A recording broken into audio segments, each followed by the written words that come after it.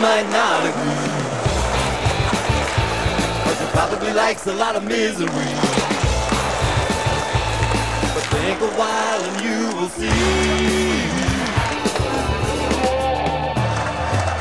Broken hearts are for assholes.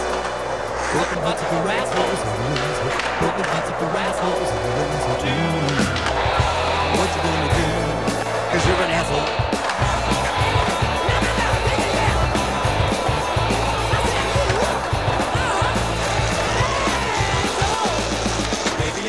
You're a lonely guy.